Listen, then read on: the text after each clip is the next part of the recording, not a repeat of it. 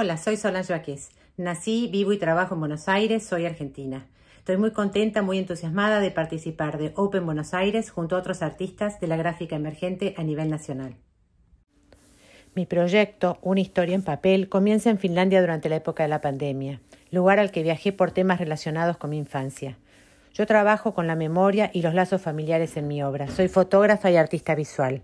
Presento imágenes impresas en papel de diario y en papel sulfito que luego son intervenidas con el compás de punta seca que perteneció a mi padre. Los invito a Open Buenos Aires del 5 al 7 de agosto en la Casa de la Cultura ubicada en Capital Federal para recorrer las obras y participar de los talleres. Muchas gracias a Proyecto ACE, Banco Macro y el Gobierno de la ciudad junto a FIC Bilbao por apoyar este encuentro.